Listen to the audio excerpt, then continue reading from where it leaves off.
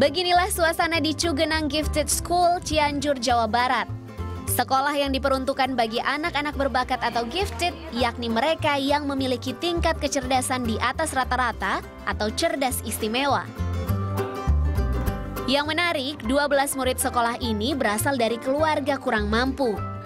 Kalau kita mengajar mereka itu, kalau tidak sesuai dengan apa yang di pikiran mereka, pasti mereka akan menyanggah gitu. Menurut aku gak seperti itu bu, gitu. Jadi uh, ya kita harus bisa apa menerangkan kembali pengalaman belajarnya itu lebih dari buku gitu. Jadi berpikir sendiri sudah.